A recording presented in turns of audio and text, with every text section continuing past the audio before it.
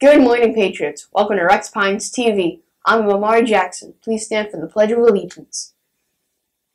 I pledge allegiance to the flag of the United States of America and to the republic for which it stands, one nation, under God, indivisible, with liberty and justice for all. And now for our school mission statement. We the Patriots achieve greatness through high expectations, passion, and perseverance. Thank you. You may now be seated. Today is Monday, March 2nd, 2020. Now let's go to Danielle to see what happened today in history.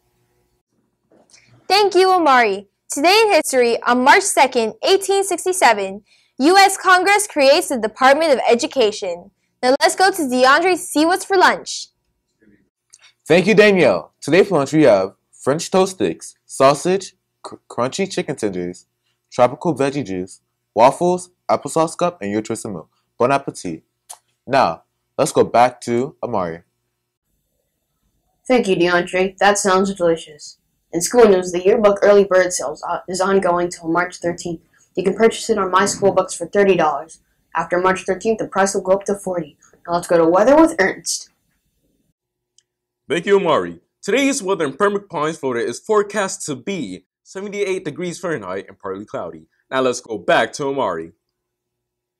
Thank you, Ernst. On admin announcements, teachers, please be at your door to welcome your scholars at 7:35 a.m. Attendance must be taken at 8:30 a.m. And lastly, please don't forget to provide your scholars with positive hero points. Patriots, don't forget your past expectations. It represents present yourself positively, act kindly towards others, treat the school's environment respectfully, and succeed at everything. Congrats to Mrs. Kane, Ms. Richardson, and Miss Mraz. You had the correct answer to the trivia question, which was and the 1953 song Hound Dog was released by this blues singer before Elvis Presley's 1956 version. The correct answer to the trivia question was Willie Mae, Big Mama Thornton, and Big Mama Thornton. Now for today's trivia. What is the scientific name for a wolf? Repeat. What is the scientific name for a wolf? Teachers, send your answers to pines.renaissance at gmail.com. Everyone at RPTV would like to wish you all a one a marvelous Monday. And remember, reset your mindset. Have a great day.